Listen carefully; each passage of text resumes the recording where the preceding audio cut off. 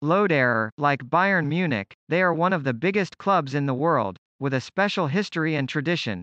He added on joining another of world football's superpowers. There have been so many great players in Real Madrid's history and so many great victories and trophies. I want to join and continue this successful story with the club and the fans.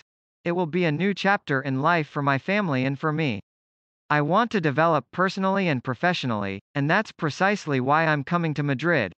Alaba linked up with Bayern in 2008 and went on to spend 13 years with the German Giants, taking in 431 appearances.